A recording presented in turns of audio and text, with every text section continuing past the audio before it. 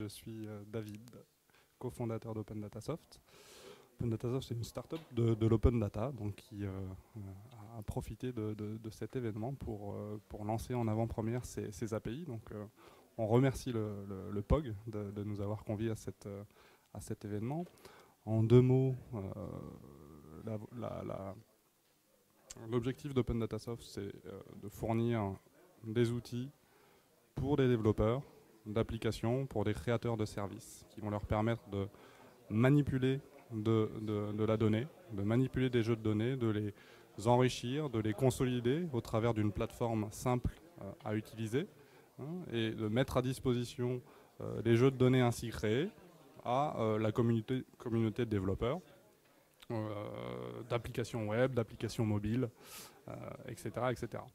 Donc ce, cette, cette activité euh, s'inscrit euh, non seulement dans, le cadre du, domaine public et, libre, hein, mais, mais, également dans, dans, la sphère professionnelle, privée, puisque tout ce dont on parle autour du sujet hein, open data est également vrai dans l'entreprise, à savoir que les problématiques de partage d'informations structurées, de, diffusion euh, d'informations, de création d'applications sont également vrais dans l'entreprise. Donc le positionnement d'Open Data Soft, il est double.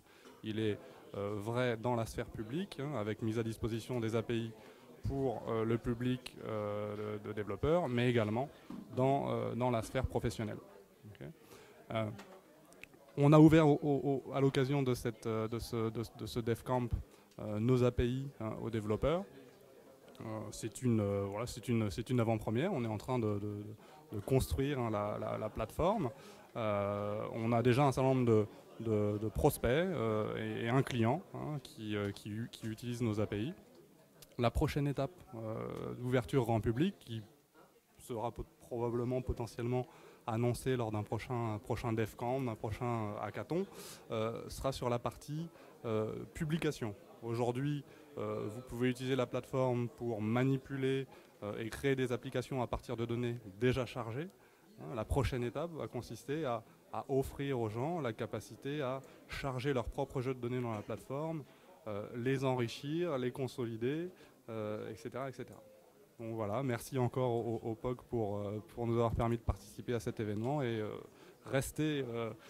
restez, restez, en contact avec Open Datasoft. Euh, on, a, on a un blog sur oe.opendatasoft.com et vous pouvez nous contacter sur l'adresse mail contact at opendatasoft.com. Merci.